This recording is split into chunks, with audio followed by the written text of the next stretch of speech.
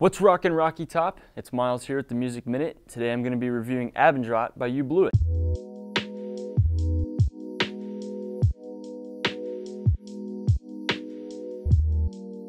Abendrot was released by You Blew It on the record label Triple Crown Records in November of 2016. Upon first listen, this album was a drastic departure from the first two albums in their catalog, especially their 2014 release, Keep Doing What You're Doing.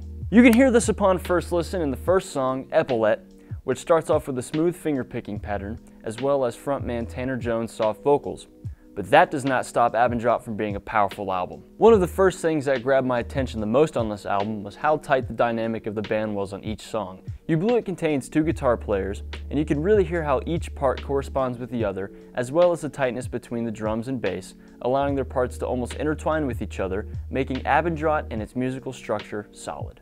I spoke with Tanner himself about the way this album was written and the influence behind it, and this is what he had to say.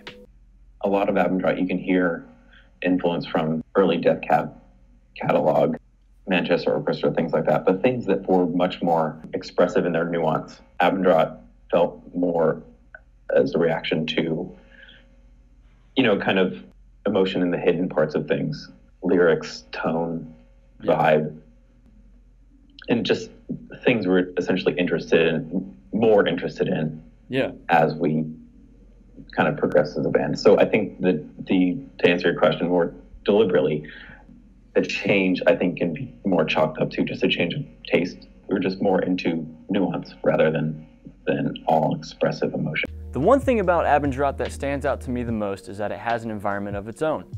Song after song, it all seems to blend together, making it easy to listen to from start to finish. The drums have a roomy tone to them, the guitars have a nice dynamic to them, going between clean tones all the way to overdriven tones. The bass is deep and riveting, and if you pay close enough attention, there are some miscellaneous instruments in there as well, such as synthesizers and Wurlitzers. Abendrot overall is a solid album, and each song is enjoyable on its own. I would recommend listening to Sundial Song, Greenwood, and Basin and Range.